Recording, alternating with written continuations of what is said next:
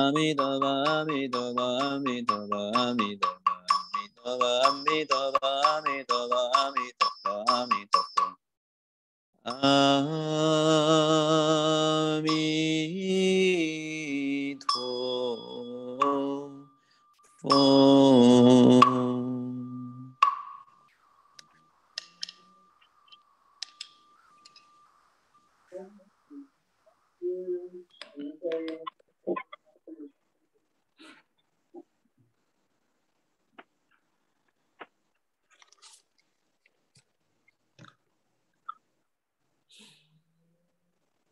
呃，尊敬的诸位同修，诸位护法，大家吉祥，阿弥陀佛。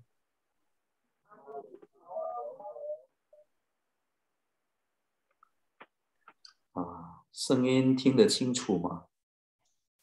清楚，清楚哈。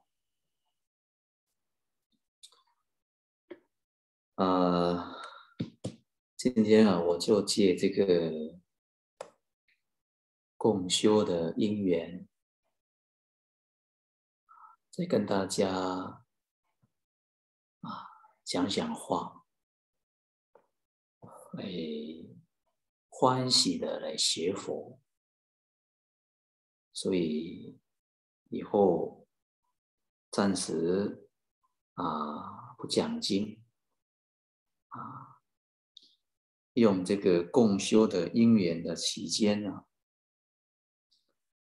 来跟大家如何来修学，如何来学佛，呃，这一生能够获得无量无边的幸福美满、快乐的人生。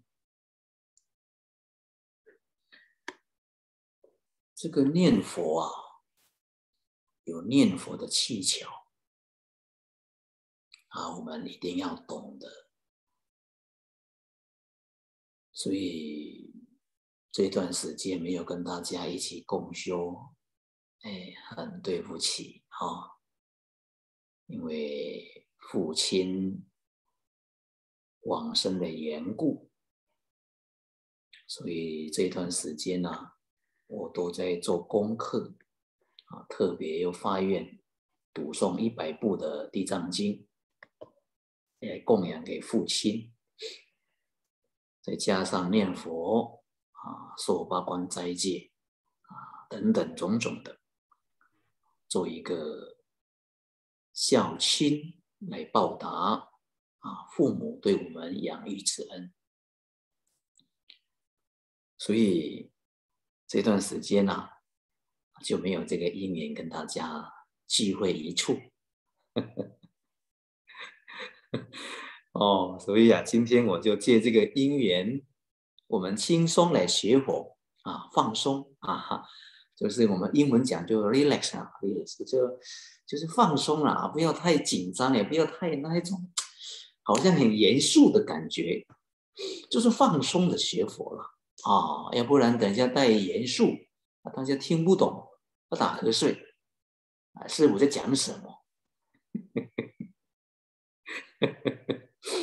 哦，那今天呢，我要跟大家分享的啊，就是以后我们共修的期间呢，就是要跟大家来讲讲什么叫做念佛的好处啊，念佛的利益呀，这个念佛的功德啊。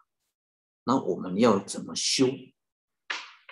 阿弥陀佛的福报太大了，那我们要有懂得怎么想阿弥陀佛的福啊，不然很可惜呀。你看阿弥陀佛的福报太大了，但我们也懂得用什么方法啊？所以今天呢，我就用这个因缘呢，来跟大家，首先劝大家。我们念佛的人不能不修福慧啊！你要记得这件事，特别在我们这个环境，我们现在环境哦，你这一生，你特别你是一个念佛的人，你不能不修福。这个第一个头一件事，那福怎么修啊？这个很重要的！你看，我们现在很多一些这个王者啊，或者这些我们老了，人一老啊，很多人得什么病啊？什么病呢？痴呆呀！你不要小看我们别的国家，澳大利亚现在很多，这个也是一个业障。人痴呆很辛苦哎，如果家属儿女孝顺你还好，如果家属儿女不孝怎么办？那不是惨了哦！而且老人痴呆这个问题啊，你怎么劝他念佛啊，是没有一个效果，很恐怖的。我们每一个人都有这个机会哦，要小心哦！真的不是吓人的。在一方面，我们在看师傅这这。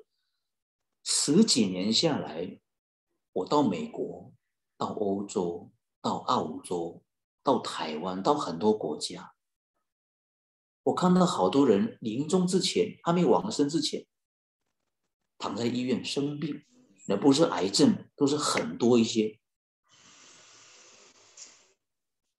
那你想一想，这个就是业障来的。那如果你有福啊！这种就很能够避免哦，所以呀，我就借这个啊，简单这段时间，我就跟大家来讲一讲，我们要怎么修福，什么样的福报是最大的啊？什么样的福报是最大的？哦。什么样的福报是最大的？首先，先了解这个“福”这个字。释迦牟尼佛讲经说法四十九年，讲的很多。阿弥陀佛在《无量寿经》里面也讲的非常的清楚。祖师大德告诉我们，念佛人最大的福报，首先第一个是什么？我们看下面的那个经文。最大的福报啊，就是祖师大德告诉我们，念佛人最大的福报，就是最殊胜、最难得的，就是你这一生当中，你能不能永脱轮回，往生净土，圆成佛道，这个是最大的福报啊！这个福报实在讲啊。是诸佛菩萨最羡慕的、最欢喜的一桩事情。我们这一生能不能得到？能，没有比这个更更大的福报了。哦，所以大家一定要知道，诸佛如来、诸佛菩萨最欢喜的一件事，我们能不能这一生当中？了生死出三界，那个是最大的欢喜的一件事。因为什么呢？因为你离了生死了嘛，你得大自在了嘛，你不会再受任何的苦啊，你已经超越六道轮回了。这个是念佛人最大的福报，所以这个诸佛最羡慕的。看到一个人能够超越六道轮回，不受任何这种苦，世间之苦、六道之苦，诸佛是最欢喜的。所以我刚刚到澳洲，我最羡慕的澳洲人是哪里人？就是那些老人退休的。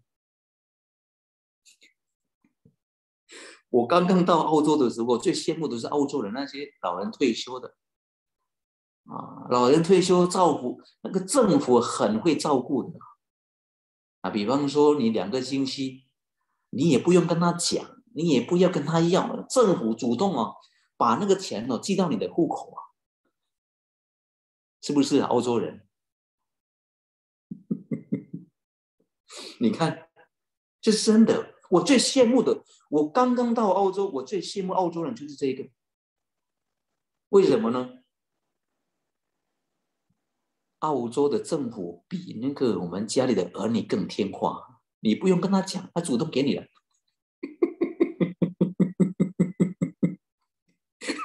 哦，那个我最羡慕的就是这一个。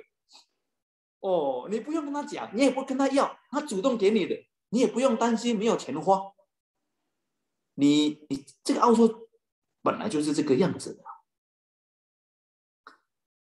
你看，我们做儿做做父母，有时候要跟父母要钱哦，看脸看儿女的脸色哎，有甚至于要跟儿女拿一点钱没有供养，有时问东问西的。所以做父母要聪明，身边有钱不要马上给你的儿女，先放着。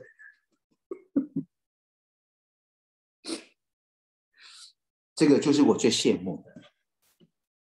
那诸佛菩萨也是一样，最羡慕的，我们能不能这一生超越六道轮回，了生死，出三界？所以尊敬的这位同修大德，那我们要怎么样超越六道轮回呢？我们看下面的，要如何能得到？啊，下面的那一章，要如何才能够得到大自在、大解脱，而这一生当中能够超越六道轮回、往生净土呢？一定要把因修好。这个因是什么呢？哎，这个很重要的哦。你要得幸福美满的快乐，快乐是果。你要快乐，你要把因修好，快乐的因修好。那我们今天要怎么样得到大自在，能够超越六道轮回，而且这一生能够过幸福美满快乐的人生？你要把因修好，这个因是什么？我们看下面的，就是这个福这个字。这个福是什么？福是指我们的心地的清净。知见的正确，所谓的正而不学，静而不染啊，这一种人在这个世间有福啊。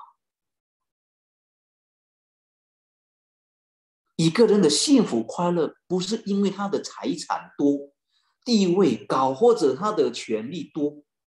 一个人的幸福快乐，就是看你的心呐，你的心清净还是污染的。所以两千五百多年前，释迦牟尼佛告诉我们，没有一个人在外面呐，在外头，任何人一个人能够给我们烦恼，只有自己给自己烦恼的。那如何要不给自己烦恼？你要修清净心啊，你心要清净啊，因为我们的烦恼、痛苦种种的。甚至于不能超越六道轮回，是从迷而来的。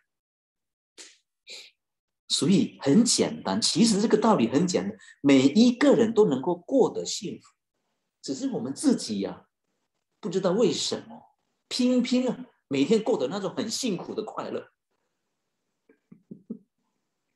明明知道很苦，你还是要苦。所以今天为什么很多人念佛不能得力的原因是在哪里？第一个原因是什么？很多人呢很会念佛啊，阿弥陀，阿弥陀佛，阿弥陀，每天不断的念佛。但是为什么他们念佛不能得力呢？我念佛啊，但是你看烦恼一大堆，习气啊堆，该发脾气的发脾气，该嫉妒的嫉妒，该计较的计较啊，种种的。那为什么得不到利益呢？什么原因？我想问大家啊，我们博士的金钟协会，我问你们啊，你们念佛超过五年的，请举手。五年以下的，请举手。哎呦，我们今天就是简单嘛，放松的学佛嘛，我们不要讲的太深了，因为哦，那个那个，我们大家在一起嘛，哦，哎，我问你们哈，哎，因为时间很快要过了，这十分钟啊，哎，你们念佛五年以上的，请举手。哎，要是哦不老实会当妄语哦，这个造业哦。哦，你看，哎，五年以下的呢？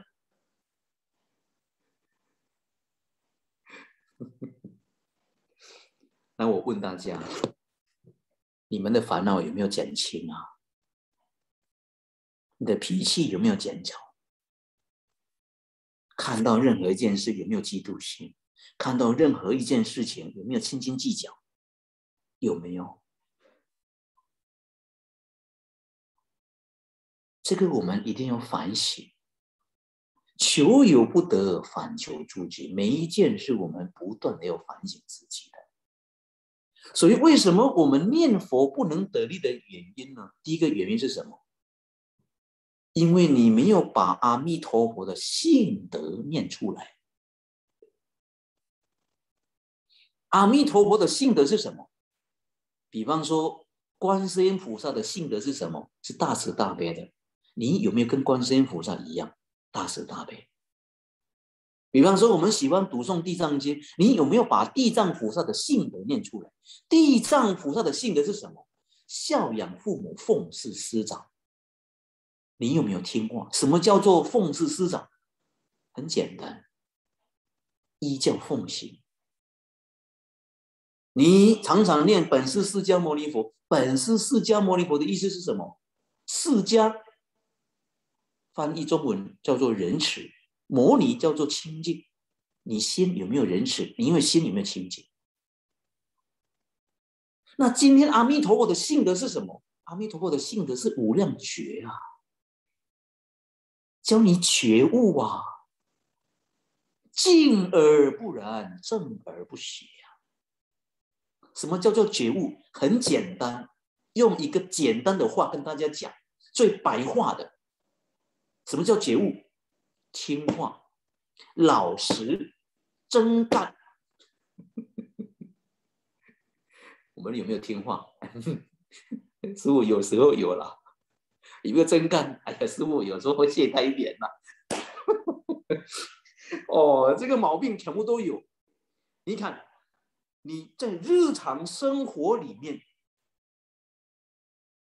在日常生活里面哦，你的念头、你的言语造作种种的，你跟经典照对一下，有没有一样？你会看到，哎呦，差的这么远呐！但是为什么现在的人念佛不能得力，又怪佛菩萨？哎呀，佛菩萨不灵，其实不是佛菩萨不灵。是你自己修为的有问题，产生这个问题了。我跟大家讲一个故事，这个故事很精彩，不知道大家有没有听过了？啊，因为今天要跟大家讲这个念佛的人嘛，啊，啊，要怎么修复嘛，还慢慢来嘛，啊，我跟大家讲一个故事啊，这个故事呢。就是圆音法师啊，以前在讲这个弥陀要解的时候，大家认识吗？圆音法师啊，圆满的圆啊，这个音认识吗？啊，邪悟法师认识吧？哦，那个圆音法师呢，他讲了一个故事蛮精彩的。他说啊，在越国啊。啊以前我们不是有常常听到这个越国，这个越国啊，两千五百年前不是有一个国家叫叶国，就是呃勾践啊，这个勾践就是这个这个范蠡帮这个勾践帮助他怎么样恢复国家啊？他是这个叶，这个叶人的叶，这个叶国夫人呢，她姓王。啊姓王啊，家里呀，请了很多丫鬟。哎，家里有没有丫鬟呢？哦，这个师傅哦，今天跟大家讲这个故事哦，你看他怎么做？他呢，请很多这些丫鬟呢，每一天呢，带着这些丫鬟呢，修净土来念佛。那没想到啊，有一位当中啊，当晚哦，就念佛往生西方极乐世界了。那因为他往生西方极乐世界，又回来呀，给他的这个叶国夫人呐，给他的这个主人呐，做了一个梦。什么梦呢？他告诉这个叶国夫人呐，他说啊，感谢你。我现在已经往生西方极乐世界了。如果你没有教我们念佛，我今天是不可能往生西方极乐世界。我现在已经到西方极乐世界，所以我要感谢你啊！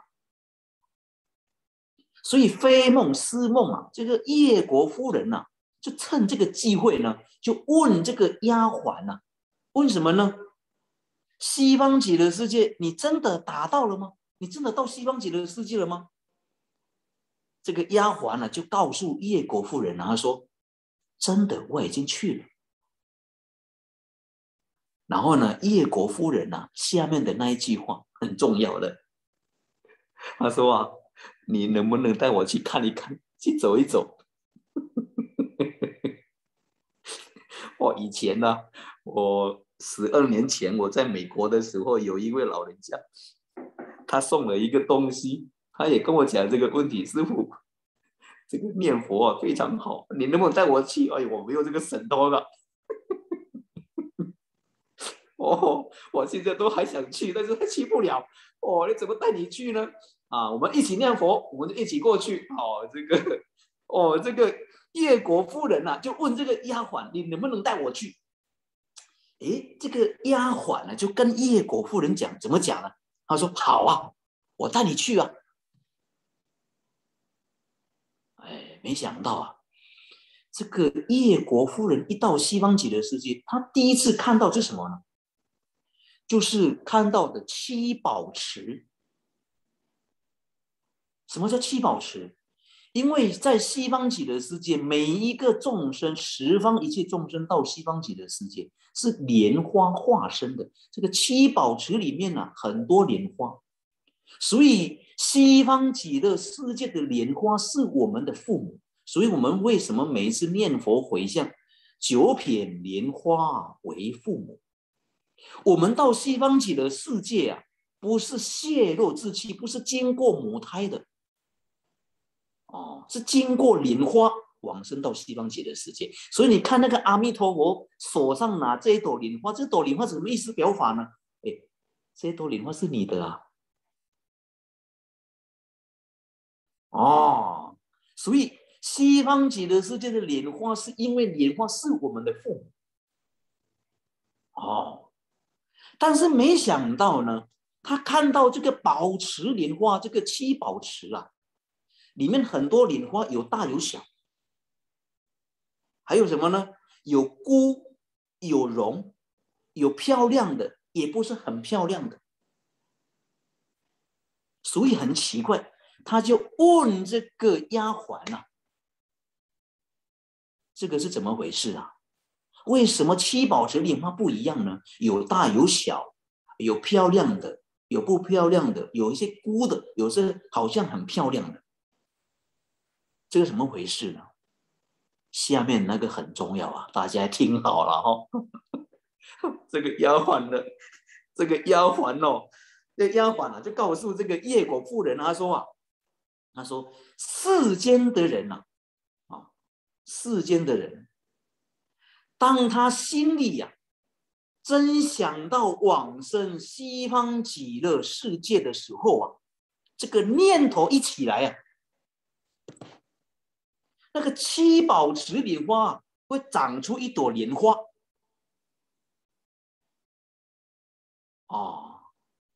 当你的念头哦哦，我在念佛啊，你发愿，我将来我要到离开这个世间，我要到西方极乐世界。当你动这个念头，你念这个念佛的时候，哎，七宝池里花长了一朵莲花是你的，真的。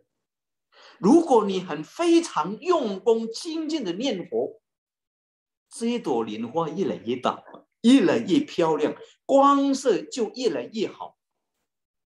如果你懈怠了，莲花就慢慢的枯萎。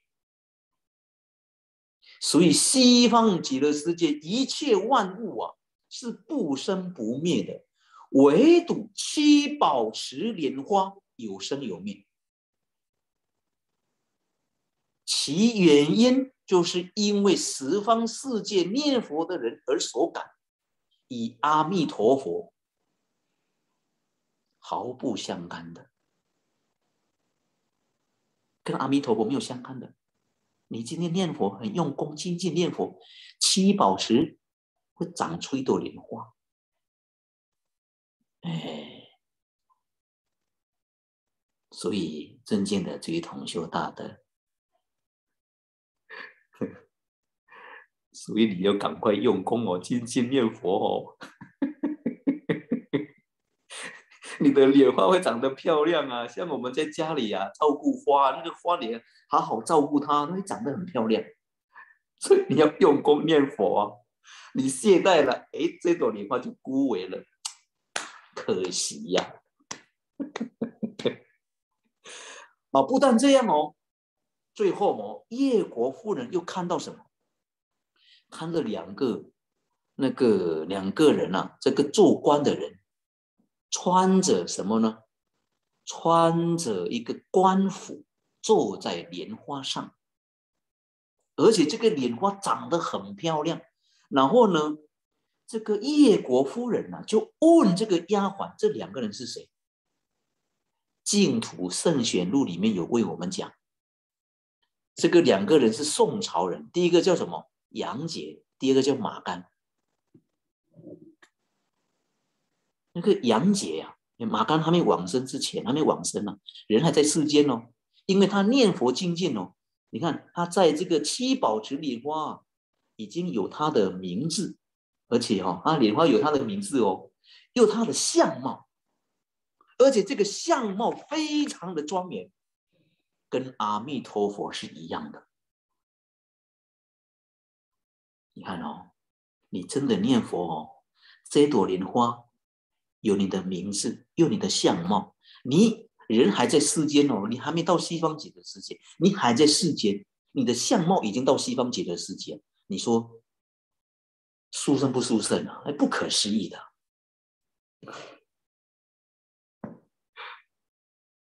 所以尊敬的这位同修大德，哦，所以你的名字不要换来换去，哦，等一下换 Michael，等一下换 Kevin，等一下换 Peter，那莲花都会乱掉的，哦，所以啊，一个名字就够了，哎啊，不要等下换这个的，换那个啊，啊，所以莲花呢，真的七宝是真的我们的莲花。那最后啊，叶国夫人就问这个丫鬟，她说：“那我将来往生到何处呢？”啊，这个叶国夫人就问这个丫鬟：“那我将来我要往生到哪里？”丫鬟啊，用她的手啊指着一个大莲花台，指着哦，她的手啊指那个七宝池，她告诉叶国夫人：“叶国夫人。”那一朵莲花有金碧辉煌、光明动人，那一朵是你的。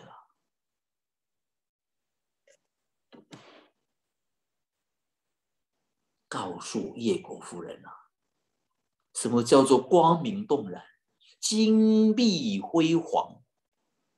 说明什么？说明叶国夫人的莲花是金台的。金台是代表什么？上上品往生的。你想一想啊，叶国夫人哦，他念佛念到这种的境界难怪他能够度化他的丫鬟，能够往生西方极乐世界，因为他自己做到了。后来呢，他梦醒之后，他非常的欢喜，非常的开心。后来在当年生日里一大早，就是他做生日的时候，哦，他站在哪里？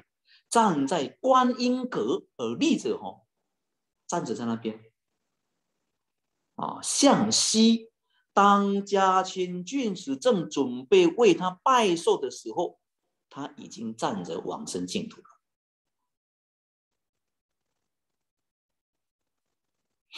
人家是怎么念佛呀？我们是怎么念佛啊？所以尊敬的诸位同学，那的，我告诉大家哦，如果宝七宝石的莲花没有金台没关系，银台没关系，无所谓，只要能够到西方极乐世界，那个最好的。哦哦，这个这个你记得哦，以后阿弥陀佛来接我们的时候，诶，为什么不金色的呢？哦，你千万不要跟阿弥陀佛说不要。啊！如果阿弥陀佛拿颜色都来，你赶快跟他拿，你赶快跟他走。哦，安全哦，比什么更好？哦，所以啊，尊敬的诸位同修大人，那从这个故事里面，他是怎么修福的呢？这个叶国夫人呢是怎么修福的？他为什么这一生会有这么大的也成就？而且往生是上上品往生的，他是怎么修福的呢？而且这个福报很重要。我们在这个世间，第一个都是福啊，没有福报啊，真的太辛苦了。但是在这个福报当中，你一定要有智慧。所以我们借这个因缘呢，来跟大家讲，那这个叶国夫人是怎么修的？他怎么修的？啊，这个福报是怎么修来的？因为下面跟我们的智慧有关系了。怎么修的呢？时间到了哦，下个星期再跟大家来分享。啊，今天呢，我就简单的跟大家这个轻松的学佛啊，就是说啊，不要太简单啊，就是放松的学佛。所以有时候我看到这个这个故事里面呢，会启发我们的内心，鼓励我们。哎，大家一定要知道啊，这一句阿弥陀佛的名号的功德，他的福报太大。哦，这一生能够遇到这个法门，然后我们来念这句阿弥陀佛的名号，大家一定要记得，要保持。不要错过这个机会，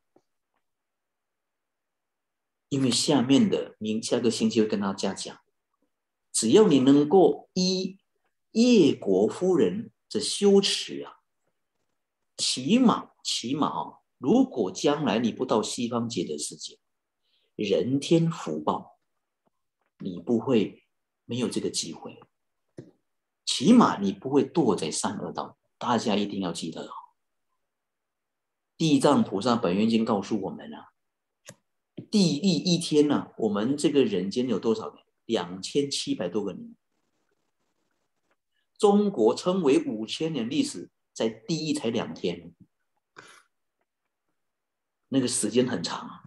所以啊，下个星期再跟大家来分享，哎，这个叶国夫人啊是怎么修持的？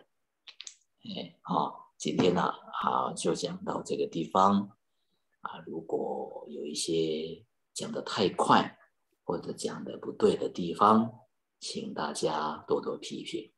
希望你们能够像叶国夫人一样，将来能够上上品莲花，往生西方净土啊！祝大家六世吉祥，祝大家老实念佛，祝大家身体健康啊！啊！祈求诸佛上摩加持，谢谢大家，阿弥陀佛。啊，阿弥陀佛，阿弥陀佛。好，那我们就来回向啊啊，交给法器。嗯嗯。